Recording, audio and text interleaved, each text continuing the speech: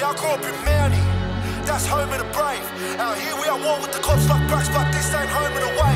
I didn't go around all those beaches, but I still got bros at the bay.